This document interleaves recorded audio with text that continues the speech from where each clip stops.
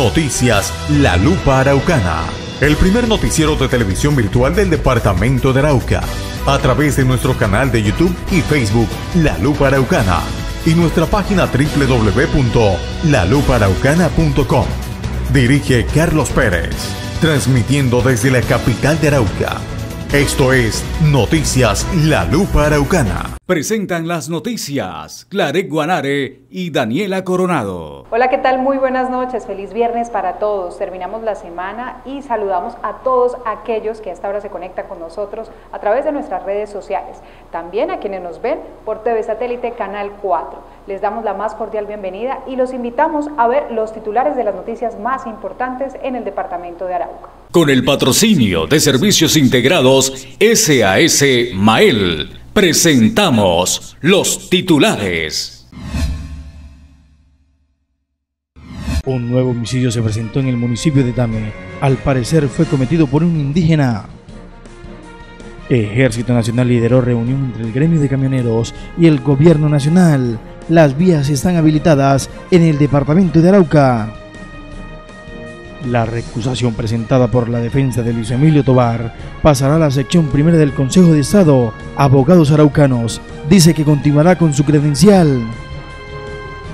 Como si se tratara de una elección popular, la Cámara de Comercio eligió una nueva junta directiva. Tres planchas fueron las que participaron.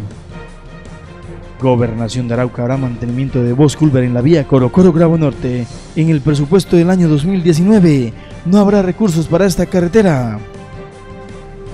Comité Municipal de Gestión de Riesgo y Desastre iniciará campaña para prevenir los incendios forestales. Recomienda no arrojar colillas de cigarrillo y apagar las fogatas.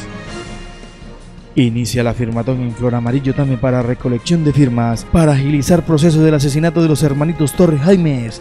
El próximo año radicarán las firmas.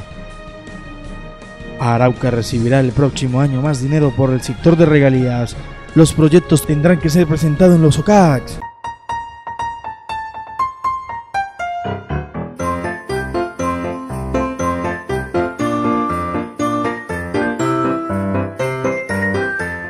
Las autoridades del municipio de Tame investigan un homicidio de una persona en el sector de la concha acústica de esa localidad. Al parecer fue asesinado con arma blanca. La Policía Nacional en el municipio de Tame investiga el homicidio de una persona en esta localidad el pasado 6 de diciembre en horas de la noche. Según las primeras informaciones, al parecer esta persona fue asesinada con arma blanca. Hasta el momento se desconoce su identidad. Las primeras informaciones indican que la persona fue asesinada en el sector del Fórum de la Cultura de Tame. Al parecer un indígena sería el responsable del asesinato de este ciudadano.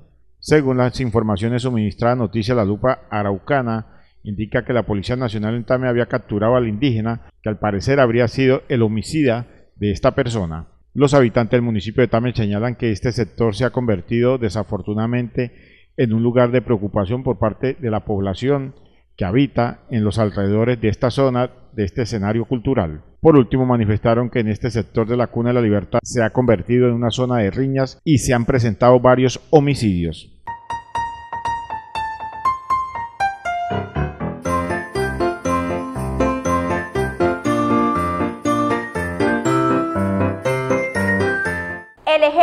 Nacional fue quien hizo la convocatoria entre el Gobierno Nacional y el gremio de camioneros que protestan en el departamento de Arauca. También se analizó el pliego de peticiones de los manifestantes. La convocatoria liderada por el Ejército Nacional logró que representantes nacionales de los Ministerios de Defensa y Transporte llegara a este departamento en menos de 24 horas para sentarse con los organizadores del paro de camioneros. De ayer se realizaron unos acercamientos inicialmente en razón a unas quejas que ponían el gremio de transportadores cerca al municipio de Saravena y cerca al municipio de Tame, donde ellos pedían la presencia de una delegación del gobierno. A través de los mandos regionales se tramitó esa presencia, se llegó, llegó un delegado del Ministerio de Transporte, del Ministerio de Defensa, los cuales realizaron una mesa de trabajo en la alcaldía del municipio de Saravena, donde se escucharon todas sus inquietudes, se le dio eh, respuesta a algunas. Em, a veces las personas no, tienen la suficiente acceso a la información, se les hizo claridad a algunas de las puntos que ya estaban resueltos. En la reunión se comprometieron a realizar algunas mesas de trabajo y se tocaron temas relacionados con el derecho a la libre movilidad de los ciudadanos, la afectación a la economía regional, el desabastecimiento de hidrocarburos y alimentos, así como el pliego de peticiones que el gremio de transportadores plantearon al gobierno nacional. Y a raíz de esa reunión nos comprometimos a iniciar una mesa de trabajo para eh, darle respuesta a todas esas inquietudes. Eh, en razón a eso, el gremio de, camioneros, de transportadores del sector levantó las, las diferentes aglomeraciones que tenían y damos un parte de normalidad en toda la jurisdicción el día de hoy. Aunque al término de la reunión las vías del departamento de Arauca se encontraban completamente habilitadas, el Ejército Nacional reitera su compromiso de continuar apoyando a los diferentes gremios, sirviéndole como puente para la comunicación con el Gobierno Nacional.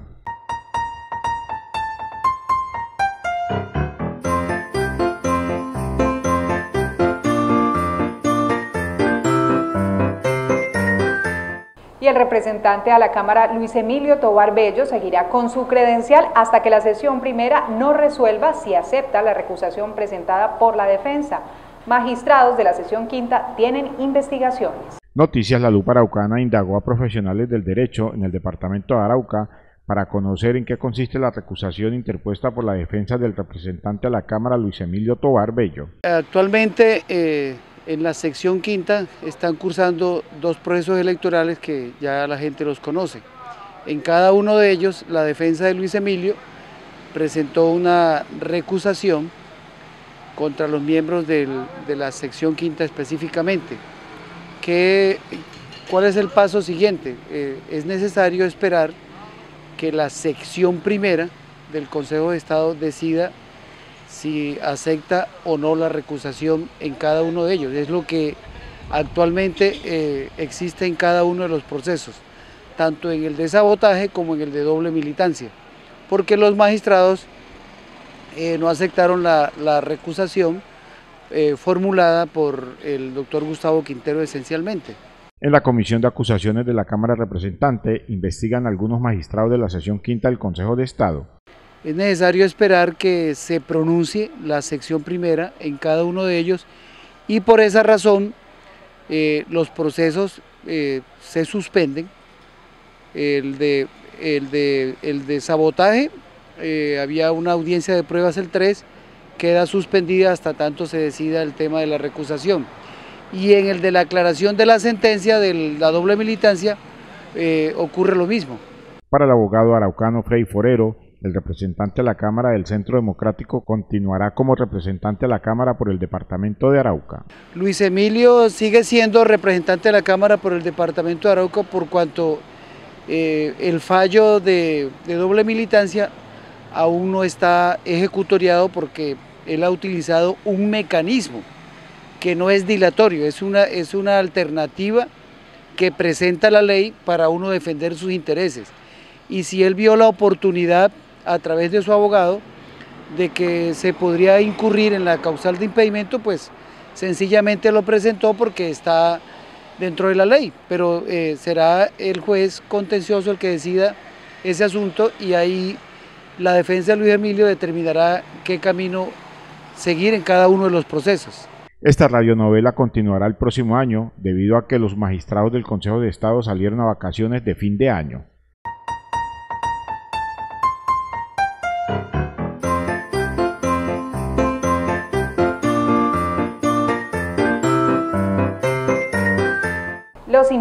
A que no se desconecten de nuestra señal, vamos a una breve pausa comercial y ya retornamos aquí en su noticiero La Lupa Araucana.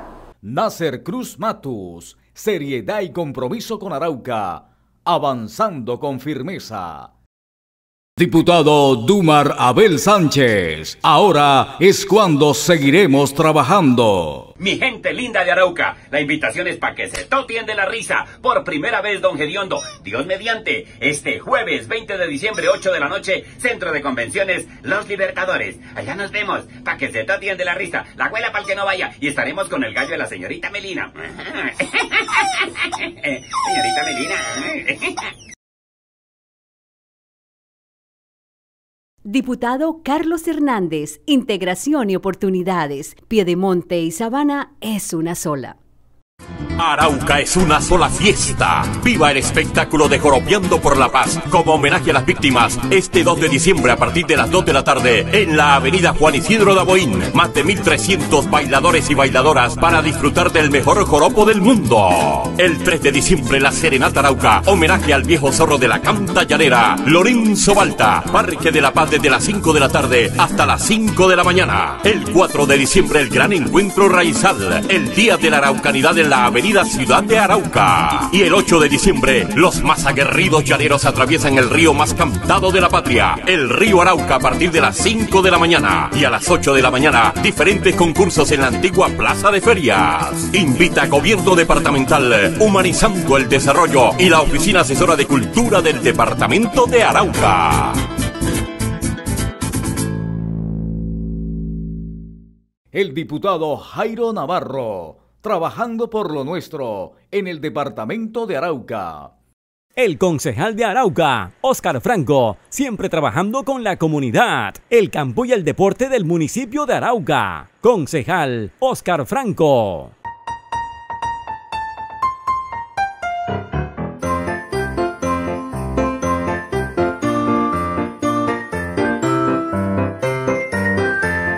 Comerciantes de Arauca han elegido la nueva junta directiva de la Cámara de Comercio del municipio capital.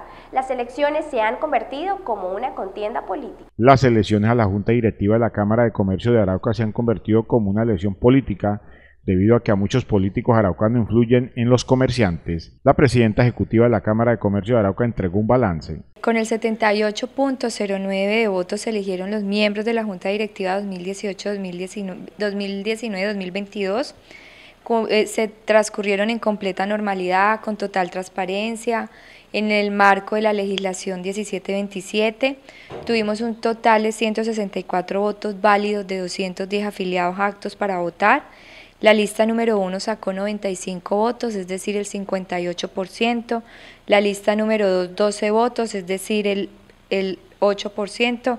Y la lista número 3, 55 votos, es decir, el 33%. Dos votos en blanco.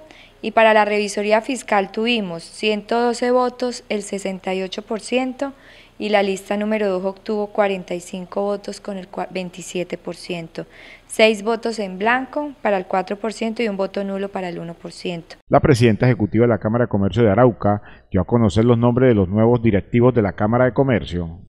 Los directivos electos son el doctor Francisco Vescance Betancourt, con suplencia de la señora Dora Inés García, el señor Holman Eduardo Fuentes Garrido, con suplencia de Iván Álvarez Higuera, las eh, inversiones y negocios del Oriente SAS, Carlos Argemiro Rincón Cabrera y Ramiro Cabrera Mojica con JM Servicios Integrados SAS. Estas son las cuatro personas que integran nuestra nueva junta directiva para el periodo 2019-2022. Queremos, y la revisoría, la revisora fiscal es la contadora pública Rosa Delmira Ángel Calderón, con suplencia de José David, José David Mendoza Torres y Noemí Rodríguez Navarro. Las elecciones de la Cámara de Comercio de Arauca estuvo vigilada por un funcionario de la Superintendencia de Industria y Comercio. Estas elecciones contaron con presencia de la Superintendencia de Industria y Comercio. Nosotros ya llevamos dos periodos consecutivos solicitando el acompañamiento de esta entidad como garante del proceso, pero entre otras cosas también contó con un testigo electoral por solicitud de la plancha número 3 eh, y contó también con el acompañamiento y el monitoreo de confecámaras a nivel nacional. Tuvimos, Carlos, como te digo, eh, un compromiso eh, de verdad que ciudadano y, con el sector empresarial enorme de nuestros jurados que estuvieron ahí durante 10 eh, horas sentados, que estuvieron ahí atentos al proceso electoral sin un solo error en la contabilidad, en el escrutinio, lo que demuestra que en esta entidad hacemos las cosas con transparencia y con legalidad. En las elecciones de la nueva Junta Directiva de la Cámara de Comercio de Arauca se presentó mucha turbulencia. Desafortunadamente, eh, pudimos observar que hubo mucha, mucha turbulencia en el marco del proceso, eh, pero bueno, de, eh, así son los procesos democráticos y, y pues las tres listas eran, eran listas legítimas, los tres estaban habilitados para ser elegidos y vimos que sí, hubo como un fervor y hubo una pasión muy grande en cuanto a, a las listas pues que, que se presentaron, a una de las listas que se presentaron. Eh, pero bueno, con, gracias a Dios todo transcurrió en completa normalidad. La nueva Junta Directiva de la Cámara de Comercio iniciará su periodo a partir del 1 de enero del próximo año.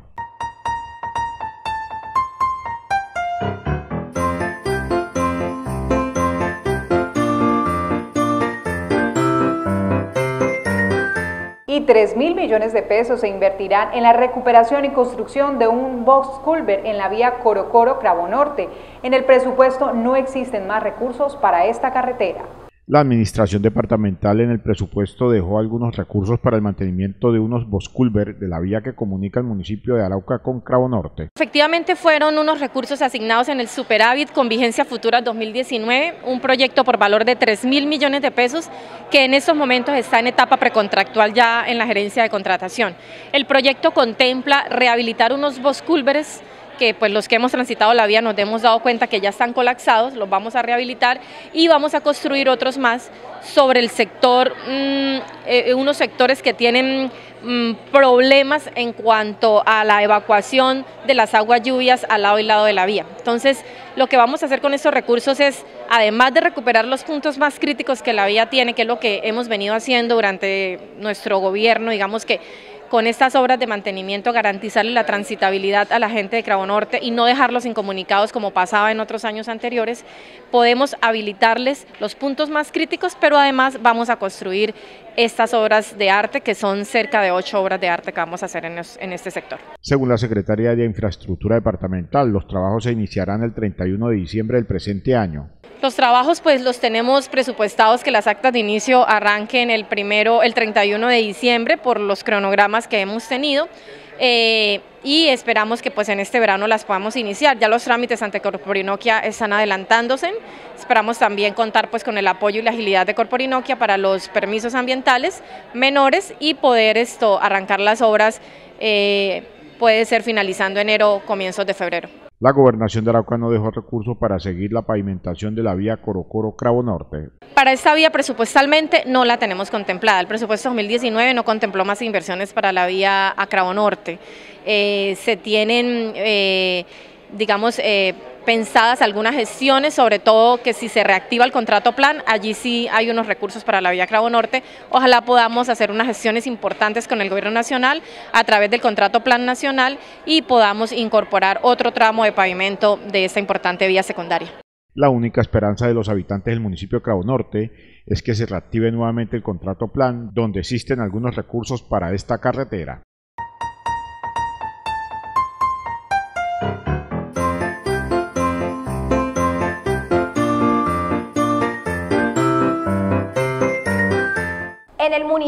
Arauca se iniciarán las campañas de prevención de los incendios forestales por la temporada de verano. El decreto municipal se aplicará estrictamente a los pirómanos.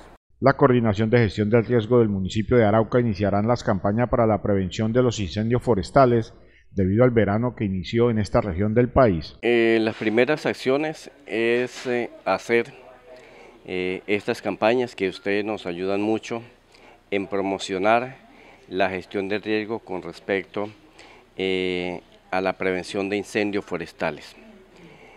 Lentamente la comunidad eh, rural está tomando conciencia de que los incendios forestales provocados, los que hacen las quemas que hacen los campesinos en la sabana, los criollos, que para recuperar o para mejorar una sabana, ya hoy se están dando cuenta que es totalmente falso, que es un daño irreversible que le hacen al subsuelo y que sí es cierto que nace el nuevo pasto, pero esos nuevos pastizales nacen con mucho menos nutrientes y, y obviamente haciendo afectación a la alimentación de sus ganados. Según Norberto Marín, del Comité de Gestión del Riesgo del municipio de Arauca, la comunidad está tomando conciencia en no realizar quemas en la época de verano la comunidad está tomando conciencia en evitar esos, esas quemas que se hacen en la sabana. También se promociona em, evitar a toda costa y por las empezamos por las todas las emisoras que los las personas que van a los paseos, que van a pescar, que van a muchas partes a caños, si hacen fogatas que la dejen y que se, eh, se concienticen que deben quedar totalmente apagadas para que no generen ningún problema de riesgo de incendios forestales en la ribera de los, de los mm, caudales de agua que son donde más se hace daño porque es donde más se perjudica tanto la flora como la fauna silvestre. El funcionario aseguró que por la Secretaría de Agricultura Municipal se formula un proyecto para instalar algunos puntillos. Se adelanta por parte de la Secretaría de Agricultura también un proyecto donde se estará dando alguna ayuda con respecto de puntillos en los sectores de veredas eh, que están muy, mucho más afectadas por la problemática de la sequía, de los caños y de los espejos de agua. Em, se adelanta también un proyecto en la conformación de, las 10, de los 10 comités de vigía forestales de las 10 veredas del corregimiento de eh, Maporillal. Esta eh, conformación tiene eso. En primer lugar, que sean concientizadores de sus propias comunidades, que a toda costa se deben evitar las quemas en la sabana. También eh, se capacitan para que ellos atiendan un conato de incendio que se pueda generar en, su vereda. Y también se les da una, mínima, un kit de herramienta mínima con la que pueden ellos efectivamente atacar esos conatos de incendio. Y en caso de que se les salga de las manos esos conatos, pues inmediatamente avisar al cuerpo bomberos para que ellos eh, puedan salir a atender esas eventualidades. La administración aplicará el decreto donde multará a los pirómanos. Cada vez más ese decreto sigue siendo más, más estricto, sigue teniendo mucho más cumplimiento y eh, tanto la corporación como la policía ambiental, eh, nosotros tenemos aquí alrededor en el área suburbana problemas de muchas quemas. se han reducido eh, las quemas a nivel mm, rural, pero también eh, se nos aumentan las quemas eh, aquí y es por el problema de la cantidad de gente que genera esa problemática.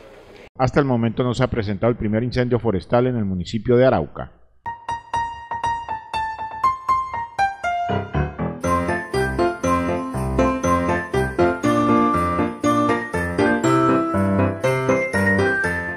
Vamos a una breve pausa comercial y ya retornamos con más información aquí en su noticiero La Lupa Araucana. Diputado José Trinidad Sierra, por una Arauca unida y productiva. Diputado Hernando Henao, liderando nuevas ideas para el departamento de Arauca. Diputado Leison Botilla, defendiendo la salud del departamento de Arauca. En el AR llega a su puerta con facturación en sitio ¿Qué es facturación en sitio? Es la nueva forma de recibir su factura al instante y verificar el detalle de los valores facturados por el consumo mensual de energía. Con procesos innovadores seguiremos manteniendo una relación de transparencia y confianza con nuestros clientes y usuarios. Más información en www.enelar.com.co. Enelar, energía que humaniza el desarrollo. Jesús Daniel Rodríguez trabajando por el departamento de Arauca. Experiencia, gestión y compromiso. Presidente del Consejo, año 2019. Ya llegó el mes de diciembre y el año viejo se va. Y Pago Express les desea feliz año y Navidad. Es una empresa araucana de recaudo y mucho más. Palotos y pagos confiables recibidos de Nelar. Pago Express, Pago Express, les desea felicidad. Pago Express, Pago Express, les desea felicidad. Felices fiestas y feliz año nuevo les desea la familia de Pago Express. Hernandarío Camacho, alcalde del municipio de Tame, cumpliendo con su programa de gobierno. Tame, somos todos.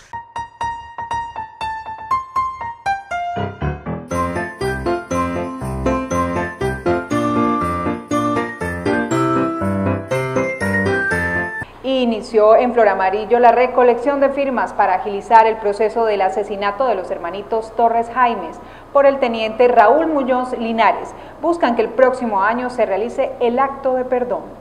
En el distrito de Flor Amarillo, el municipio de Tame continúa la firmatón para buscar el pronunciamiento por parte del Ministerio de la Defensa por el asesinato de los hermanitos Torres Jaimes por el teniente Raúl Muñoz Linares del Ejército Nacional.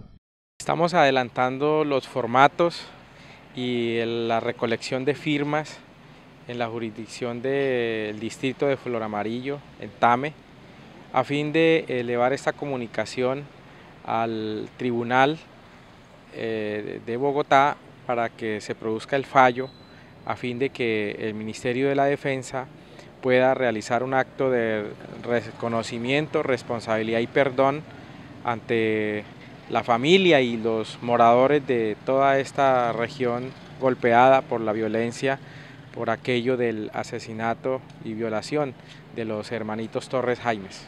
El presidente de la Comisión de Derechos Humanos de la Asamblea Departamental de Arauca manifestó que la recolección de la firma se realiza en Flor Amarillo.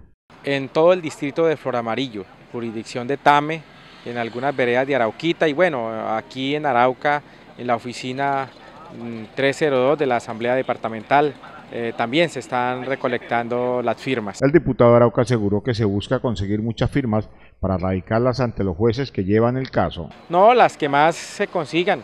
Lo importante es es llamar la atención de la justicia ordinaria que entienda el profundo dolor y esta herida profunda que ha quedado en las comunidades, que se repare en parte con un acto de reconocimiento a los habitantes de esa región, alivia un poco el dolor, pero creemos de que todavía falta un tramo, seguramente será en el transcurso de la vigencia del 2019 cuando se lleve a cabo este acto. Se espera que el próximo año se radiquen estas firmas y así el Ministerio de la Defensa realice el acto de perdón ante los familiares de los menores asesinados por el teniente Raúl Muñoz Linares.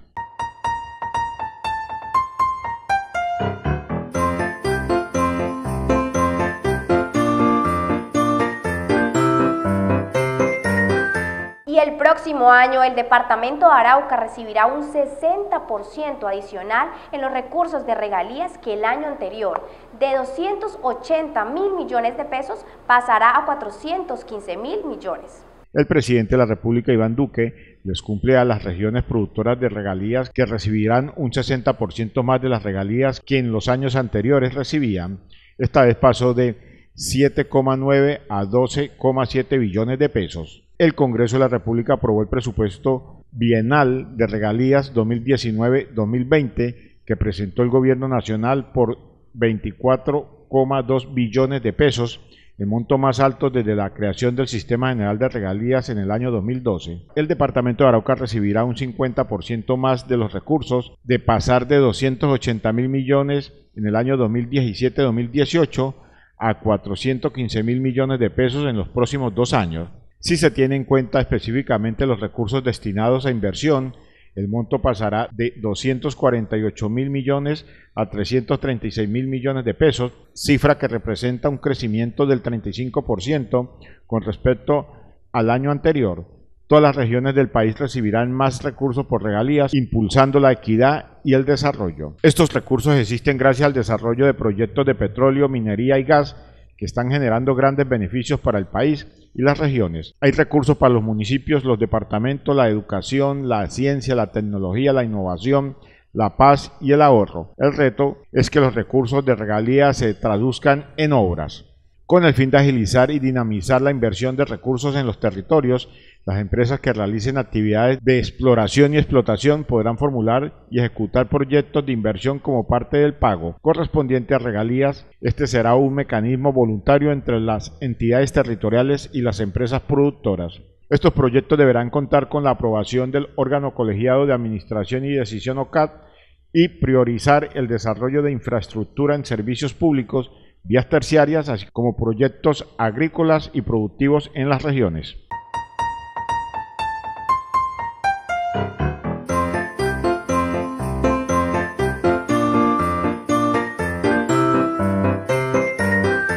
y hasta aquí una nueva emisión de su noticiero La Lupa Araucana. Agradecemos a todos aquellos que se conectaron con nosotros a través de nuestras redes sociales, también por la señal de TV Satélite Canal 4. Feliz noche para todos.